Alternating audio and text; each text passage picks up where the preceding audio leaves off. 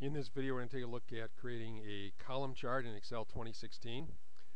Uh, this is the data that I have and by the way a column chart in Excel is a bar chart where the bars go up and down and uh, they call it that to distinguish it from a bar chart, what they call a bar chart, which has uh, the bars going horizontally instead of vertically. But uh, basically a column chart and a bar chart pretty much the same thing in Excel. The difference is basically one is rotated 90 degrees from the other one.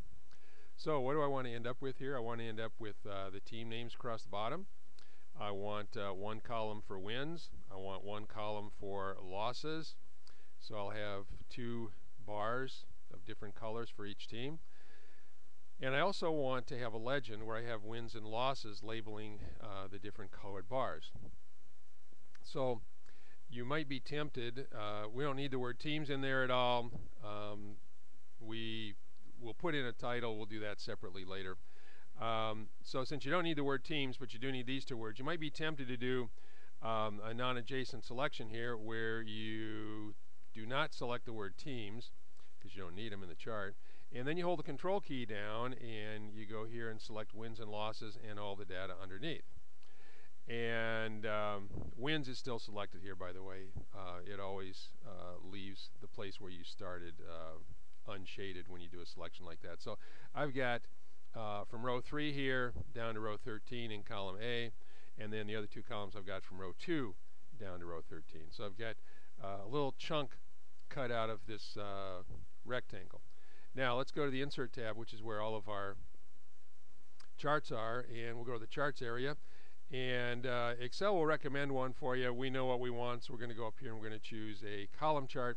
And usually the 2D ones are better.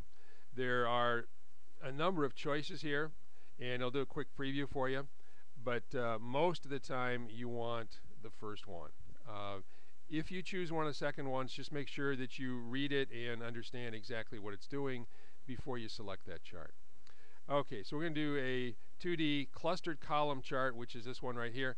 And that's what you get, and it looks absolutely nothing like what I wanted. So I'm going to undo that. And the reason that Excel couldn't figure out what to do is just because I left this one cell out right here. Okay, um, The basic rule for Excel when you're doing charts is the data has to form a, tri um, a rectangle. Sorry about that. Has to form a rectangle. And um, I didn't quite have a rectangle because I had this little corner cut out of it. So let's select the whole thing this time, and including the word teams. And let's go to our Insert tab, and let's go to Column Chart, and we'll do a 2D clustered column chart. And there we go. Um, if you select the data correctly, and you notice it, it uh, highlights the data over here in different colors, uh, the part for the legend is highlighted in red, the part for the data here is highlighted in blue, and we've got this purple highlighting for the data that goes along the x-axis here. So this is um, what you get if you want to go in now and customize. Uh, you can customize all that you want to. We'll just do uh, one thing here, and that is we'll go in and we'll click on the chart title. And um, if you look carefully, this may not show up on the video, but you should be able to see it on your monitor if you're doing this on your own um, there is a solid line around chart title. If I click, that's if I click on the edge with the four-headed arrow.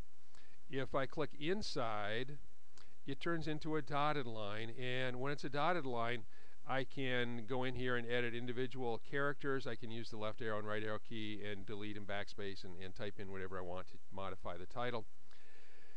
And I can also format individual characters. Um, so now let's say I, I highlight uh, just the word title and I get this nice little pop-up here and I change the font to red.